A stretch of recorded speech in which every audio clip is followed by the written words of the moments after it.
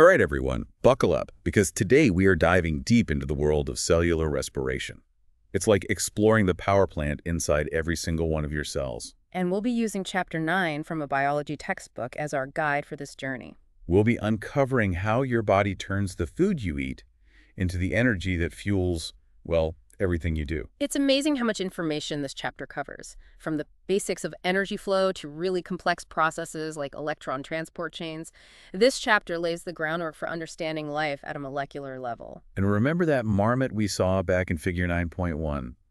Well, it turns out it's not just a cute furry face. It's a perfect example of how energy flows through ecosystems. That's right. It actually connects us all back to the power of the sun. Wow. So how does that work? Well, the marmot gets its energy from eating plants. Right. And those plants capture sunlight through photosynthesis. And guess what? The byproduct of photosynthesis is oxygen. Which is exactly what we need for cellular respiration. Exactly. It's this beautiful cycle. It really is. So let's break down how this energy magic happens, starting with catabolic pathways. Oh, I love catabolic pathways. I know it sounds complicated, but think of it like this. You have a big Lego structure, and you decide to take it apart. I like that analogy. You're basically breaking down these complex molecules to release energy. Exactly.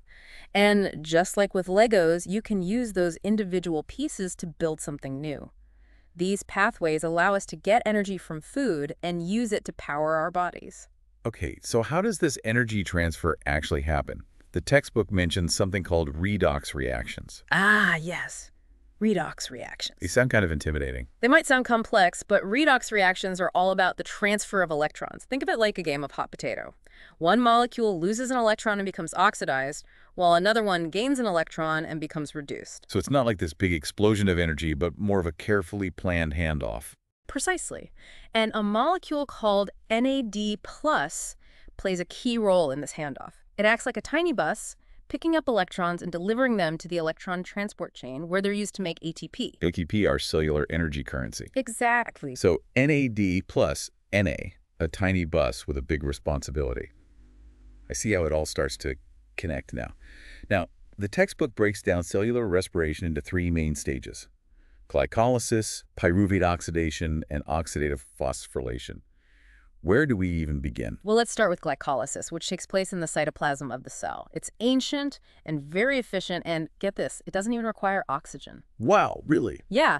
Picture this. You have a six-carbon sugar molecule called glucose, and you split it in half into two smaller molecules called pyruvate. That's glycolysis in a nutshell. So it's like a universal energy extraction method that happens in nearly every living organism. It is. It's fascinating. It really is. Yeah. But what happens to those pyruvate molecules after they're split? Well, if oxygen is present, they head to the mitochondria, the powerhouses of the cell.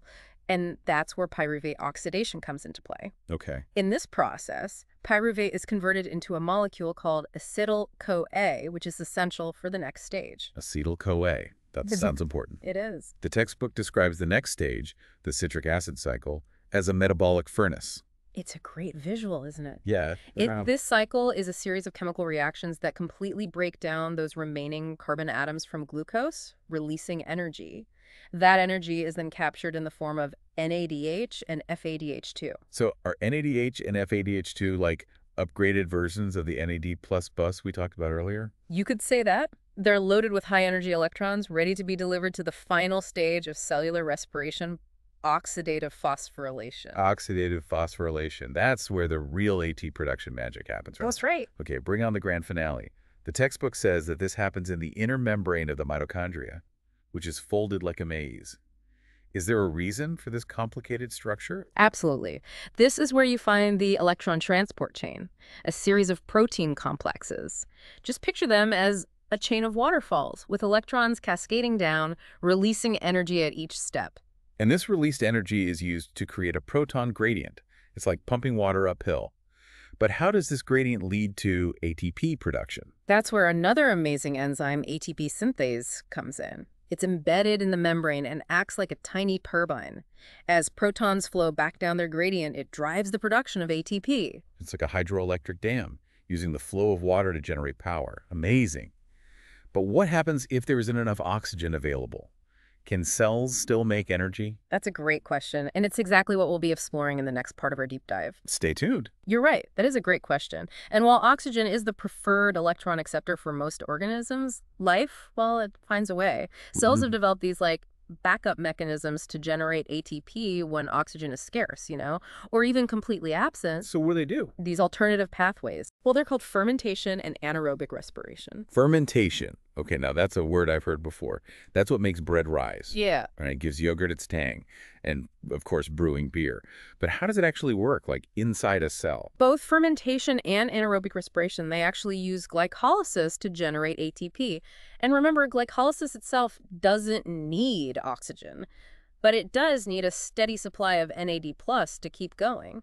Right, because NAD plus picks up electrons from glucose during glycolysis. Mm-hmm. But if there's no oxygen to keep the electron transport chain running, how does NAD plus get regenerated? Well, that's where fermentation takes a different path. Instead of sending those electrons to the electron transport chain, NADH, which is the reduced form of NAD plus Na, donates its electrons to an organic molecule. Hmm. something like pyruvate or a derivative of pyruvate. It's like finding a temporary storage spot for those electrons. It's like a detour on the electron highway. Sure. So what happens because of these um, alternative electron handoffs? The textbook mentions different types of fermentation. yeah, there are a lot of variations actually, but two of the most common types are alcohol fermentation and lactic acid fermentation. In alcohol fermentation, pyruvate is converted into ethanol and releases CO2 in the process. Uh, so that's what gives us those like bubbly pockets of carbon dioxide in drinks like beer and champagne. it is, and it's also what makes bread dough rise. Okay, so I'm guessing lactic acid fermentation is what makes yogurt, you know, tangy. Yeah, Exactly.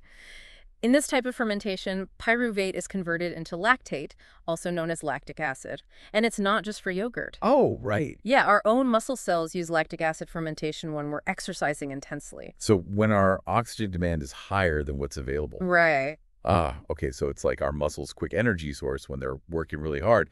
But lactic acid buildup also causes soreness, right?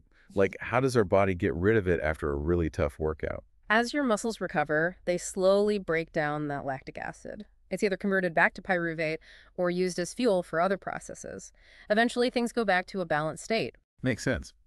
But I'm guessing fermentation isn't as efficient as aerobic respiration, right? I mean, in terms of ATP production. You're right. Fermentation only produces 2 ATP per glucose molecule. Hmm. Aerobic respiration, on the other hand, can make up to 32 ATP. Wow, that's a big difference. It is. And that's because the energy stored in pyruvate doesn't get fully used. It's basically locked away in the end product of fermentation, like ethanol or lactate. So it's like fermentation's a quick burst of energy, like a sprint, while aerobic respiration is more like a marathon runner, steadily making ATP over a longer period of time. That's a good way to put it. Thanks.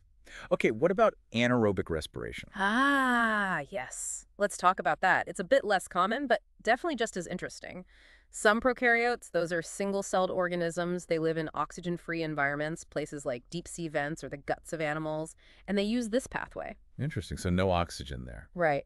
And it's similar to aerobic respiration in that it uses an electron transport chain. So those electrons still cascade down, but they just end up at a different spot, like a different pool at the bottom of the waterfall. Exactly. Instead of oxygen being the final electron acceptor, they use other molecules that really want those electrons. Okay. For example, some marine bacteria use sulfate ions, and as a byproduct, they produce hydrogen sulfide. That's actually what gives those environments that, you know, rotten egg smell. Wow. So life really can adapt to pretty much anything, huh? I mean, it, it's amazing that organisms can generate energy even in the toughest conditions. Hmm. But why would they choose these less efficient pathways when there's oxygen available? Well, it comes down to evolutionary history and, you know, how organisms have adapted to their environment. Many mm-hmm. organisms that do well in low oxygen environments, they've evolved to use these pathways because oxygen isn't always there. It's about survival, you know? Like having a backup generator when the power goes out. That makes sense. Going back to fermentation for a minute, I'm curious about its practical applications. I mean, beyond food and drinks. Oh, there are tons of applications. Fermentation is used in biotechnology, industry, you name it. Like what? Well, for instance, it's used to make biofuels, medicines, even biodegradable plastics. Scientists are always looking for new ways to use fermentation, especially for a more sustainable future. That's really cool. So we've talked about what these alternative energy pathways are and how they work, but I mean, what does it all mean for us, like practically speaking? Understanding these pathways helps us understand so much about biology, you know? It's everything from how food and drinks are made to, like, the limits of what athletes can do. It even helps us understand things like hibernation and certain diseases. Hibernation. Yeah. The textbook mentioned brown fat, which is a type of tissue that generates heat by uncoupling ATP production from the electron transport chain, which is really important for mammals that hibernate so they can stay warm in the winter. Right. I was reading a study that connected being exposed to cold temperatures with increased brown fat activity in humans. Like, it's almost like having a built-in heater. And even in humans, brown fat helps regulate our body temperature. There's even research now suggesting that activating brown fat could be a way to fight obesity and diabetes. That's fascinating. It seems like the more we learn about cellular respiration, the more we realize how it connects to so many aspects of health and disease. It really does. It shows us that these tiny processes inside our cells at a molecular level, they have huge effects on our overall well-being. Absolutely. Okay, so we've explored how cells generate ATP both with and without oxygen. We've seen how efficient aerobic respiration is, how fermentation is like a quick fix, and how anaerobic respiration allows life to adapt. Right. But remember, it's not all about breaking down glucose. Cellular respiration is linked to other metabolic pathways too. It's like a central hub in the cell's metabolic network. It is. And it's not just catabolism or breaking things down, it's also about anabolism, the process of building things up. Right. And that's exactly what we'll explore in the final part of our deep dive. We'll uncover the flexibility of cellular respiration and its role in biosynthesis. Sounds good. Can't wait. Welcome back to our deep dive into cellular respiration. So we've seen how cells can make ATP with and without oxygen, but it turns out cellular respiration isn't just about breaking things down. That's a great point. It's not just about catabolism, it's also closely tied to anabolism, which is all about building things up. It's like a two-way street, you know, Yeah. providing both the energy and the building blocks that cells need for all sorts of things. So it's not just a demolition crew, it's also a construction crew. The textbook mentions that our bodies can use more than just glucose for fuel. We can also use fats and proteins, right? You got it. And fats are a super efficient energy source. A gram of fat actually has more than double the calories of a gram of carbs. That explains a lot. Yeah. But how do fats actually get broken down and used in cellular respiration? Well, first, fats are broken down into glycerol and fatty acids. Glycerol can go straight into glycolysis. Fatty acids go through a process called beta oxidation, which breaks them down into two carbon pieces that can enter the citric acid cycle as acetyl-CoA. So it's like feeding the metabolic furnace with different kinds of fuel. Hmm. And what about proteins? Where do they fit in? Proteins can be used for energy too, but first they need to be broken down into their building blocks, amino acids. Some amino acids are used to make new proteins, but any extra can be turned into intermediates that can enter glycolysis or the citric acid cycle. It's incredible how adaptable our bodies are. We can use different fuel sources depending on what we have available. But you mentioned anabolism, that building up process. Can you tell me more about that? Of course. Anabolic pathways use those intermediates from glycolysis and the citric acid cycle to make all sorts of essential molecules. Mm. We're talking things like amino acids to build proteins, nucleotides for DNA and RNA, lipids for cell membranes. It's really quite remarkable. So it's a very versatile system. Cellular respiration isn't just providing the energy the cell needs to function, it's also supplying the materials to build essential components. But with all of these pathways working together, how does the cell make sure everything runs smoothly? Regulation is key. The cell uses all kinds of feedback mechanisms to control how fast both the catabolic and anabolic pathways are working. To make sure energy production and biosynthesis are in balance? Right. The textbook mentions an enzyme called phosphofructokinase. It's a key regulator in glycolysis. It's almost like the pacemaker of the whole process, right? Exactly. Phosphofructokinase is allosterically regulated. That means its activity can be changed depending on what molecules bind to it. For example, high levels of ATP, which means the cell has a lot of energy, will actually inhibit phosphofructokinase, slowing down glycolysis. On the other hand, high levels of AMP, which is a sign that energy is low, will activate the enzyme, speeding up glycolysis. That makes perfect sense. Like a thermostat that adjusts the rate of energy production based on the cell's needs. It's amazing. It is a pretty brilliant system, you know? As we wrap up our deep dive into cellular respiration, I'm just really struck by how complex and efficient it all is. I agree. It really highlights the power of evolution and how ingenious nature can be. What we think of as like the simple concept of food being turned into energy is really a symphony of interconnected pathways working in perfect harmony to maintain life. It's incredible to think that all of this is happening inside every cell in our bodies, all the time. Thanks to you, I have a much deeper appreciation for what's going on inside of us. It's been my pleasure. Remember, cellular respiration is fundamental to biology. Understanding it helps us appreciate just how connected all living things are. That's a great point. Thanks for joining us on this incredible journey through the inner workings of ourselves. Until next time, keep exploring.